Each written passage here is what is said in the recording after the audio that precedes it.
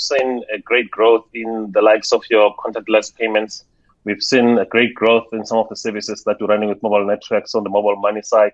We've seen uh, the rise and rise of uh, bot services. You know, so so it's been great from that point.